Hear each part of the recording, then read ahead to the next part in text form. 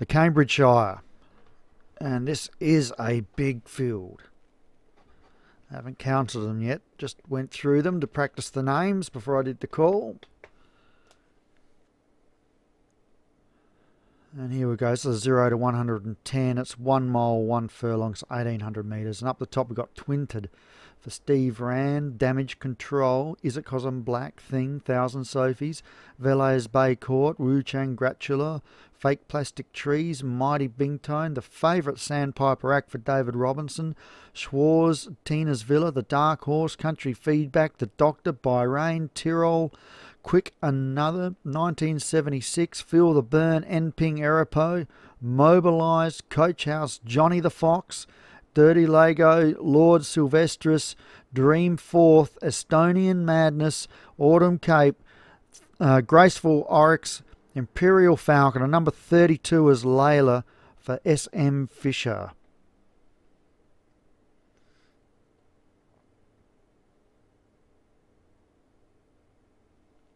set racing. And this big field's out and running. Luckily, we're on the big track here at Newmarket. And this hopefully is a straight race. Uh, so we're right across the track here. It's going to be hard lining them up, but Schwarz in the centre is our leader with country feedback for Hollywood Hinton out on the far rail. Also up there, Autumn Cape.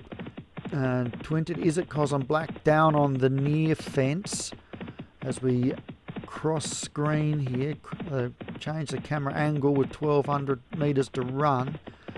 And um, so now on our near side at the tail from this pack is 1976, but down on the other rail, Estonian Madness is our back marker, but up front is still Schwarz.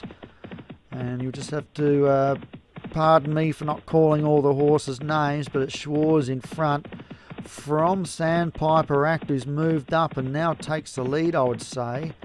Um, still, yep, it's the leader now. Fake plastic trees and the pink on the far fence. Between them, Schwarz, Bahrain is up there, Coach House, Tina's Villa, Lord Sylvestris, Thousand Sophies as they run on down to the two furlong pole. Nothing really coming from out of the pack at the moment.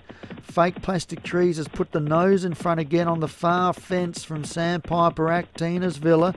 It's now the middle pack slowly moving forward at the furlong, and Tina's Villa takes the lead now from Thousand Sophies.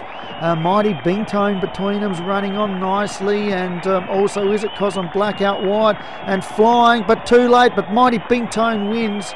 It was Paul Rhodes' horse there I saw that caught my eye late. Wow, an amazing race. But Mighty Bingtone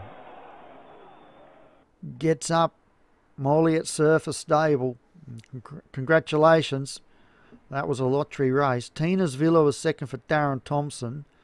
Third was Damage Control for Paul Rhodes. Uh, Fourth was Schwarz for Hands. It actually ran a good race, trying to lead all the way. We've just lost fifth here. We might get back to it if we're lucky. Down the bottom, Autumn Cape ran last.